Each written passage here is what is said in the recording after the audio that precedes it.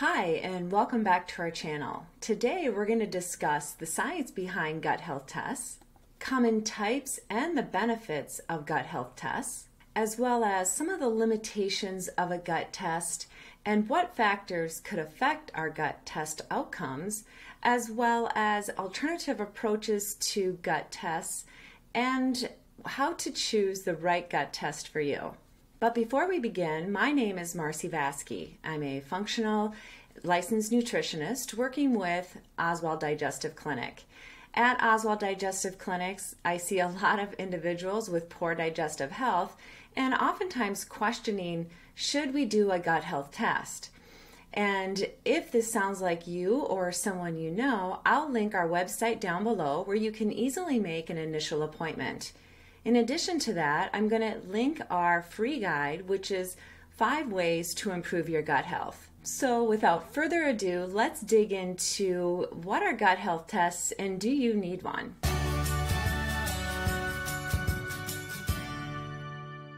So, as an experienced gut um, expert, I see people all day long who are struggling with gut health issues and sometimes wondering, you know, should we be doing a gut health test?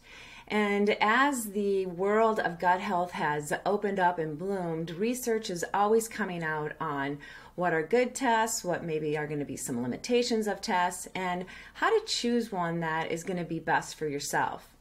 We know that having a strong digestive system is going to benefit you as your health and your overall well being. Gut tests have become extremely pop- popular in the recent years.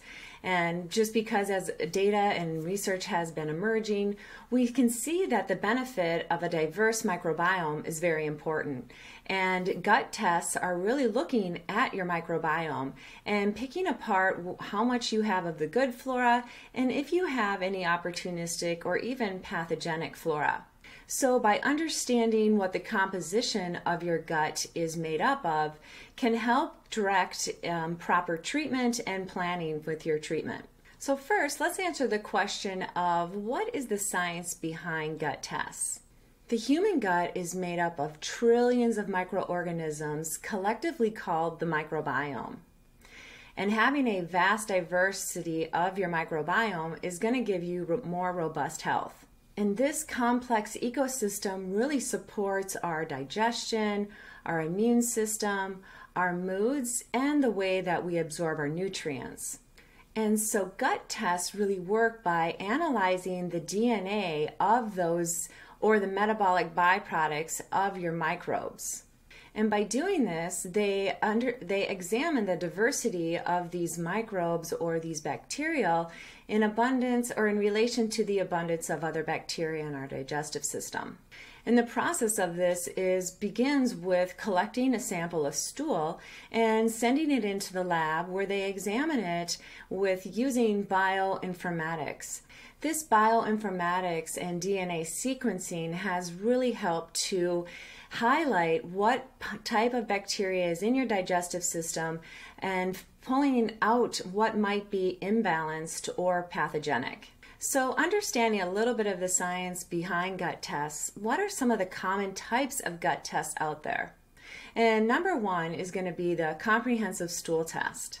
Now, in a comprehensive stool test, this is where you will send in some of your stool and be analyzed to find the types of bacteria that might be lacking or maybe in too much of abundance and, um, keeping your gut imbalanced. In addition to that, many gut health or comprehensive tests will show what kind of inflammatory responses you're having, how you're digesting food, and really giving a good picture of what your gut is like.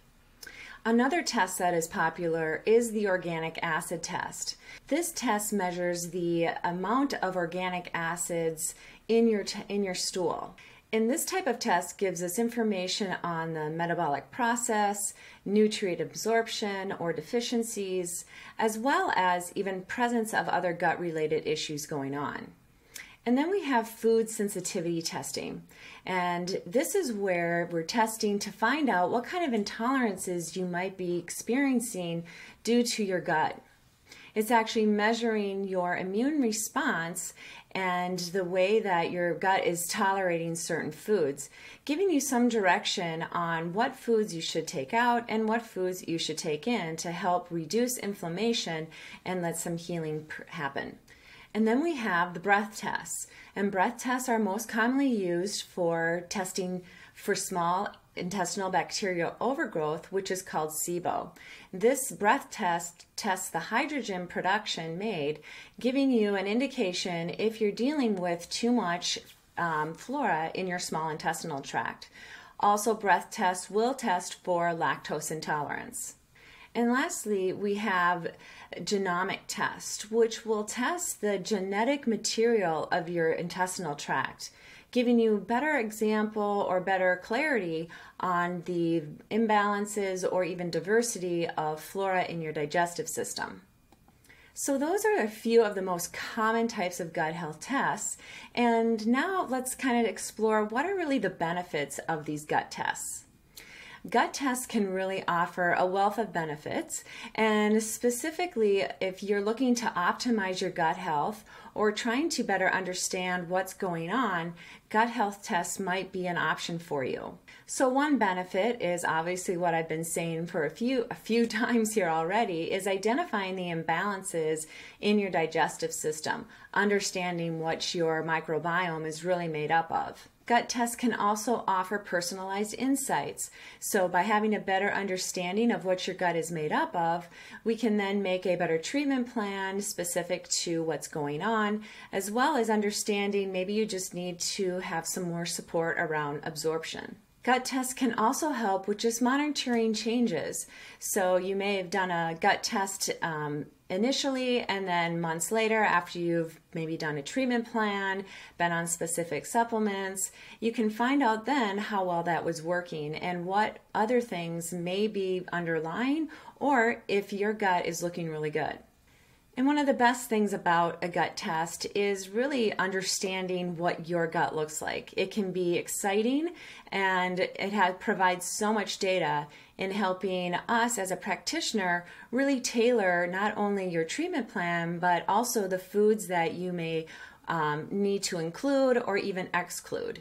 But of course, with benefits of the gut test, there's also limitations to gut tests, as with most tests. And one of them is going to be the variability in the sample collection. Typically, when you do a gut health test, you'll be sent a kit at home. And so, by reading the directions and following them very closely, you'll probably get the best sample that you'll be able to send in. However, sometimes there's things that get in the way, such as if we didn't read the instructions properly and we ended up eating something that should have been um, off the list for a couple days, or if you're taking enzymes and forgot to stop them and did the test anyway. So there's going to be different kinds of variables that get in the way for um, just the stool collection itself. Another limitation of the stool test or gut test is just going to be interpreting the test itself. Um, you'll send in your sample, you'll get your result back, and sometimes it can really look like Greek. And so this is where a, um, a practitioner that has an expertise in gut tests and guts really comes in handy and has can able can put it into more layman terms for you so that you can understand what you're really looking at and what are the next steps. And of course, there's also the cost and the accessibility of the gut test as well to think about. Um, most functional gut health tests are not covered by insurance and can oftentimes get a little bit spendy. And so sometimes um, the cost outweighs what the result might be. But if you're really struggling with gut health, and I always think about if you've had gut health issues for years and everything continues to stay the same or even just get worse year by year, you know, really investing in a gut test might be the best way to go, um, as well as working with a health care practitioner like myself to help support your journey to gut health. So, if you've been dealing with gut health issues for a long time and the cost is just too much, or um, you just want to do more alternative approaches to it, One thing would be just to do symptom based assessments. And oftentimes, this is again best working with a practitioner like myself who is, has an expertise in gut health and has been doing this for many years. A lot of times, by just asking a lot of questions, I can understand what may be going on, and we can begin with that. It is often said, and I say it a lot, that symptoms are really the gold standard. And in addition to understanding your symptoms, it's also understanding your lifestyle. You know, things that might be creating more stress in your life could also be creating more gut health issues. You know, so really taking a look not only at what you're eating or what your symptoms are, but also how your lifestyle is. How much exercise are you getting? How much sleep are you getting? And in addition to lifestyle and symptoms and foods that you might be consuming, we also want to look at just you, right? Because sometimes just physical appearance and certain things can give more indication about nutritional deficiencies, and that can indicate that maybe your gut is not absorbing very well.